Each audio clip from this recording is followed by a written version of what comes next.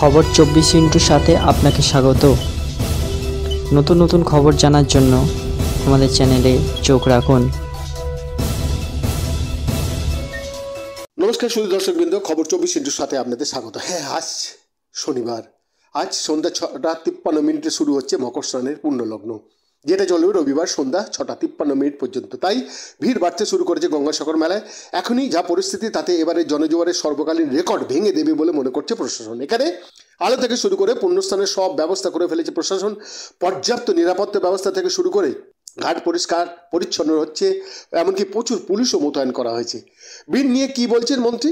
এই পুণ্যস্থান নিয়ে বিদ্যুৎ মন্ত্রী অরূপ বিশ্বাস বলেন ইতিমধ্যে সাগরে পুণ্যস্থান সেরে গিয়েছেন একত্রিশ লক্ষেরও বেশি তীর্থযাত্রী। আগামী দুদিন আরও ভিড় হবে, ফলে ভক্ত সংখ্যা পঞ্চাশ লক্ষ ছাড়িয়ে যেতে পারে বলেই মনে করছে প্রশাসন। রবিবার সারাদিন স্নানের সময় পাবেন পুণ্যার্থীরা, তবে এবার সংক্রান্তিতে রাতেও পুণ্যলগ্ন রয়েছে, তাই জেলা প্রশাসনের পক্ষ থেকে অতিরিক্ত তেত্রিশটি হাইমাস্ট আলো এবং নব্বইটি ল্যাম্পপোস্ট বসানো হয়েছে। আর কি জানা যাচ্ছে, গোটা এলাকা পরিদর্শন করেছেন জনস্বাস্থ্য, কারিগরি মন্ত্রী পুলক রায়, পরিবহন মন্ত্রী স্নেহাশিস চক্রবর্তী, দমকল মন্ত্রী সুজিত বসু সহ জেলা প্রশাসন আরও বিভিন্ন কর্তারা। মেলার প্রস্তুতি দেখেই ভিড় হবে বলে মনে করছেন সবাই। তাই মন্ত্রীর কথায় এখনও পর্যন্ত ই দর্শন করেছেন চল্লিশ লক্ষেরও বেশি মানুষ। ই স্নানের অনলাইন অর্ডার এসছে এক হাজার আটশো চৌত্রিশটি। অনলাইনে পুজো দিয়েছেন দশ লক্ষ পঞ্চাশ হাজার ভক্ত আর সাগর মেলায় জেলা প্রশাসনের নতুন উদ্যোগ, বন্ধন। পুণ্যার্থীদের ছবি সহ রাজ্য সরকারের ধন্যবাদ জ্ঞাপন সার্টিফিকেট প্রদানের কর্মসূচি নেওয়া হয়েছে। বাবুঘাট এবং গঙ্গাসাগর মিলিয়ে পঁয়ত্রিশটি কাউন্টার থেকে এখনও পর্যন্ত সার্টিফিকেট সংগ্রহ করেছেন দু লক্ষ চৌত্রিশ হাজার তিনশো পঞ্চাশ জন মানুষ। এখন কি পরিস্থিতি রয়েছে ওখানে? সাগরকে প্লাস্টিক মুক্ত করার জন্য বিশেষ কর্মসূচি নিয়েছিল গঙ্গাসাগর বকখালি উন্নয়ন পর্ষদ ও সাগর পঞ্চায়েত সমিতি।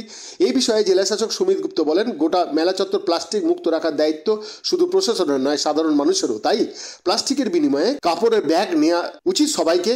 এবং দেওয়া হচ্ছে, তবে পুলিশ সূত্রে খবর, মেলা চলাকালীন বারোটি পকেটমারির ঘটনা ঘটেছে, গ্রেপ্তার করা হয়েছে উনত্রিশ জনকে, চুরি যাওয়া তিরিশ হাজার সাতশো পঞ্চাশ টাকা উদ্ধার হয়েছে।